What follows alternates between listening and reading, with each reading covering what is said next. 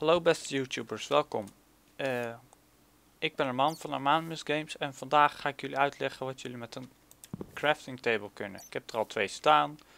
Ik heb, dit is, eh, ik zal jullie gelijk uitleggen wat je ermee kan. Met gewoon eh, het verschil tussen gewoon craften in je inventory. Hier heb je vier vakken en hier heb je de negen.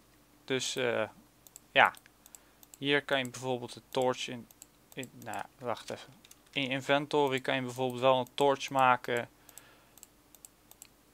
Je kan er een pressure plate maken en je kan er ook nog een crafting table maken. Maar dan, ja, dan houdt het daarbij echt op.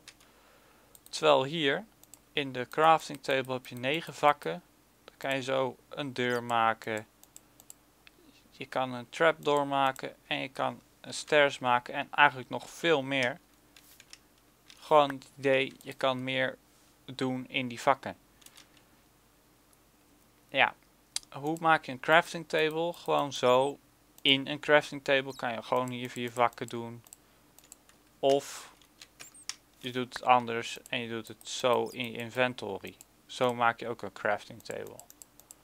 Ja, vond je wil je nou nog meer weten over wat je met de torches kan? dan kan je hier linksboven klikken. Wil je nou meer weten wat je, uh, hoe je aan hout komt, dan kan je rechts klikken, rechtsboven.